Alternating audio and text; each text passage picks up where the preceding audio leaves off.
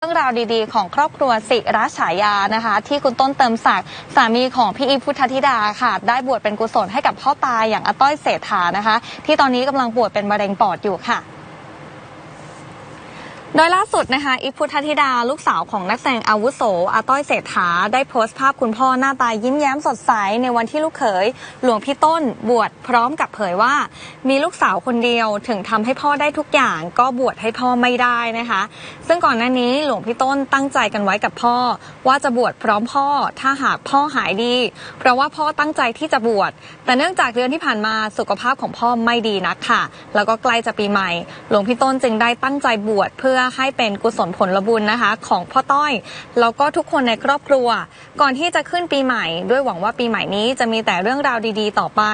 ขออนุโมทนาบุญกับกุศลจิตของหลวงพี่ แล้วก็ขอบคุณที่ทำให้พ่อยิ้มได้ และมีแรงต่อสู้กับโรคภัยต่างๆ ค่ะ